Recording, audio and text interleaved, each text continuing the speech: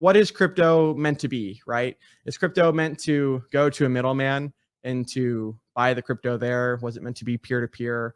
Was it meant to be more uh, decentralized and not centralized, like you know some of the systems that we're trying to get away from?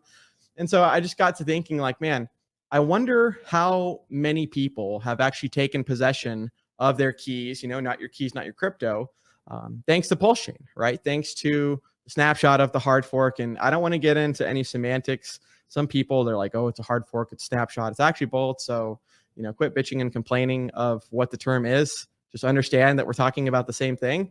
Um, but I would highly recommend to get those keys in your possession. And if you don't know how to do that, uh, there's, you know, you, you, got some learning to do, right?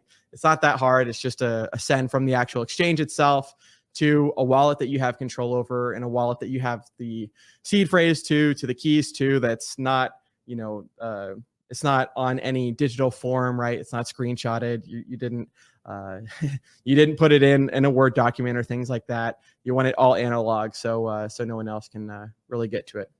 It's really fun to and it's nice to take control of of your keys. Understand what crypto is for. Crypto is for sovereignty. It is for uh, getting rid of counterparties. It is for, you know, once again, you, you know, they say be your own bank. Well, how the hell can you be your own bank if someone else has custody of your coins?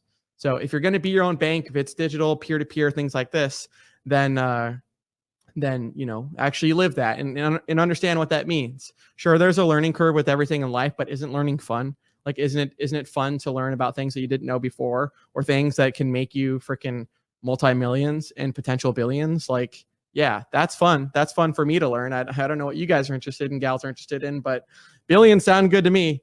So, anyways,